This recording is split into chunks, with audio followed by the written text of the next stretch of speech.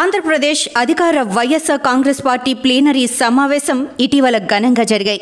ఈ సమావేశానికి తెలుగు రాష్ట్రాల నుంచి ఫ్యాన్ పార్టీ అభిమానులు భారీగా పోటెత్తారు. అయితే ఈ సభలో ఆంధ్రప్రదేశ్ ముఖ్యమంత్రి వైఎస్ జగన్మోహన్ రెడ్డి సోదరుడు కడప ఎంపీ వైఎస్ అవినాష్ రెడ్డి కూడా ఎక్కడా కనిపించకపోవడం పట్ల ఫ్యాన్ పార్టీలోని లీడర్ నుంచి కేడర్ వరకు అంతా విస్మయం వ్యక్తం చేస్తున్నారు.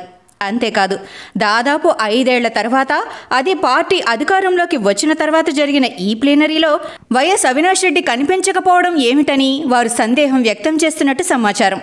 మరోవైపు ప్లీనరీ ప్రారంభానికి ముందు రోజు అంటే జూలై ఏడో తేదీన కడప జిల్లాలో పులివెందుల నియోజకవర్గ అభివృద్ధి పనులపై ఉన్నతాధికారులతో జరిగిన సమీక్షా సమావేశమైతేనేమి? అలాగే అదే పులివెందులలోని ఏపీ కార్లలో న్యూటెక్ బయో సైన్సెస్కు శంకుస్థాపన కార్యక్రమంలో అయితేనేమి? ముఖ్యమంత్రి వైఎస్ జగన్తో పాటు ఎంపీ వైఎస్ అవినాష్ రెడ్డి సైతం పాల్గొన్నారు. అయితే ఆ తర్వాత రోజు నుంచి సదరు ఎంపీ ఎక్కడా కనిపించడం లేదంటూ వారు గుర్తు చేసుకుంటున్నారు. ఇంకా క్లియర్ కట్గా చెప్పాలంటే జూలై ఎనిమిదో తేదీ మహానేత డాక్టర్ వైఎస్ రాజశేఖర రెడ్డి జయంతి సందర్భంగా ఇడుపులపాయలో ఆయన సమాధి సాక్షిగా ప్రత్యేక ప్రార్థనలు నిర్వహించారు. ఈ కార్యక్రమంలో సీఎం వైఎస్ జగన్ ఫ్యామిలీ ఆయన తల్లి వైఎస్ విజయమ్మ సోదరి వైఎస్ షర్మిలలు సైతం హాజరై ప్రార్థనలు చేశారు. ఆ తర్వాత వైఎస్ విజయమ్మ వైఎస్ జగన్ గుంటూరు జిల్లాలో పార్టీ ప్లీనరీ జరుగుతున్న ప్రాంగణానికి చేరుకున్నారు. అయితే జూలై ఎనిమిది తొమ్మిది తేదీల్లో జరిగిన ప్లీనరీలో ఎక్కడ అవినాష్ రెడ్డి వేదిక పైన కానీ వీవీఐపీల కోసం కేటాయించిన స్థలంలో కానీ ఎక్కడా కనిపించకపోవడం పట్ల ఫ్యాన్ పార్టీలోని వారంతా అనుమానం వ్యక్తం చేస్తున్నారు. ఇక ప్లీనరీ వేదికపై సీఎం జగన్తో పాటు పార్టీలోని సీనియర్లు సూపర్ సీనియర్లు అంతా కూర్చున్నారు. వారిలో కూడా ఎక్కడ వైఎస్ అవినాష్ రెడ్డి కనిపించలేదని వారు పేర్కొంటున్నారట.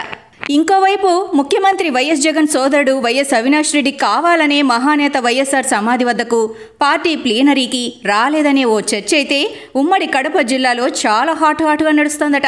రెండు వేల పంతొమ్మిది ఎన్నికలకు కొద్ది రోజుల ముందు మహానేత సోదరుడు మాజీ మంత్రి వైఎస్ వివేకానందరెడ్డి దారుణ హత్యకు గురయ్యారు. ఆ తర్వాత నాటి నుంచి నేటి వరకు ఈ హత్య కేసులో చోటు చేసుకున్న పరిణామాలన్నీ అందరికీ తెలిసినవే.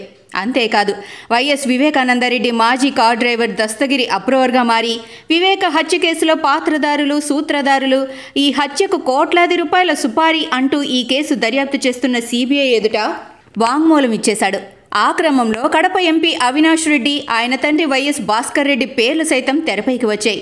దీంతో వివేక హత్య వెనుక ఉన్నది ఎవరనేది తెలుగు రాష్ట్ర ప్రజల్లో సైతం తెలిసిపోయిందంటూ ఓ ప్రచారం అయితే అటు మీడియాలో ఇటు సోషల్ మీడియాలో జోరందుకుంది.